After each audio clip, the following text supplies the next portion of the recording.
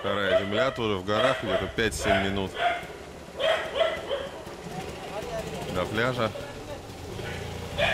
Уже огороженная заборами, вся цивилизованная.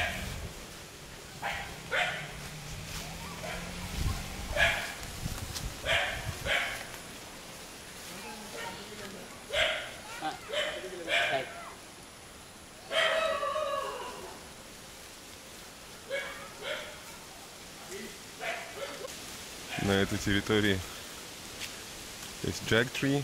Собственно говоря, вот мы его и наблюдаем. Есть манго, есть кашью, кашью. Ну, хорошее местечко, чтобы застроиться, построить себе виллу, жить в горах и наслаждаться жизнью. Вот проходит граница, забор.